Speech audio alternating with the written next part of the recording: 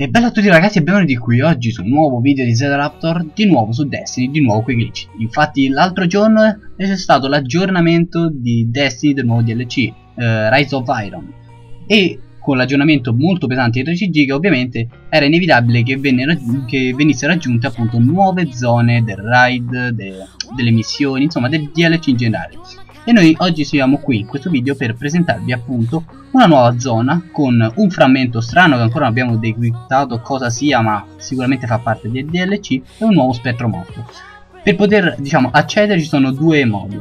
Un modo è via esterna ma vi permetterà solamente di vedere la zona da lontano e ve lo metterò a fine video. Quello che state vedendo adesso è il percorso da seguire nella missione caverne tenebrose che si trova su Marte Attenzione perché questa missione è sbloccabile solamente se avete completato l'impresa, eh, quella di sterminare la corruzione dalla terra.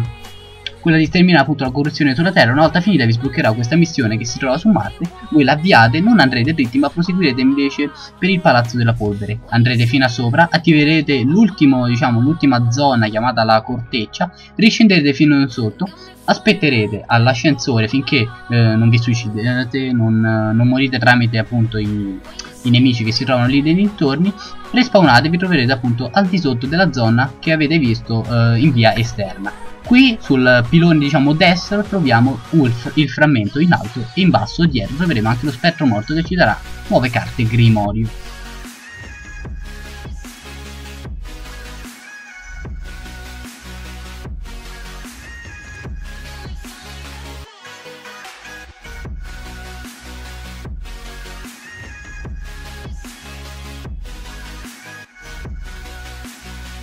Io adesso eh, vi lascio alla, alla visione appunto del procedimento per passarci dall'esterno Intanto vi saluto, lasciate un bel mi piace, ci vediamo al prossimo video. Bella ragazzi, qui da Zero per tutto, ringrazio Fly, ringrazio anche gli amici che mi hanno suggerito il glitch. Ci vediamo a un prossimo video.